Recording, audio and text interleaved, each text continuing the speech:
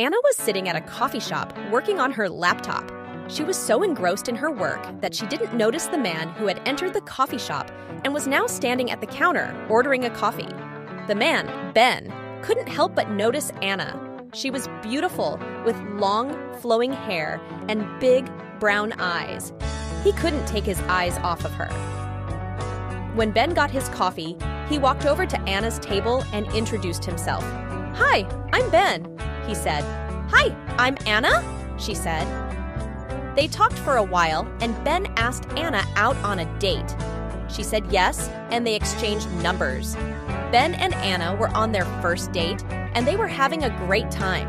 They laughed and talked and talked and talked. They felt like they had known each other for years. At the end of the date, they kissed and both knew that they had found something special. But even the best relationships have their ups and downs. And on one particular day, Ben and Anna had their first fight.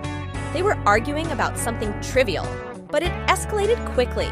They said things that they didn't mean, and they both ended up feeling hurt and angry.